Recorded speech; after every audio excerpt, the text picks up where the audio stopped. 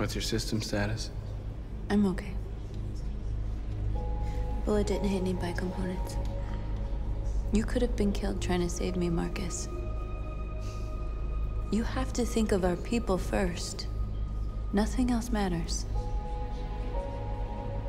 They say they don't want to take any risks with deviants.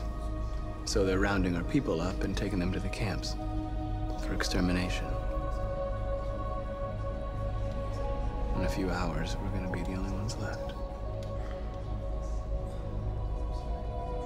How many of us survived the attack?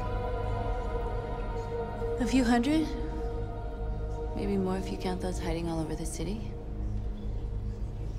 If you hadn't triggered the bomb, we'd all be dead. In a few hours, it'll all be over. We'll have changed the world, or the world will have destroyed us. You have to make a choice, Markus. Whatever you choose, we will follow you. I love you, Markus.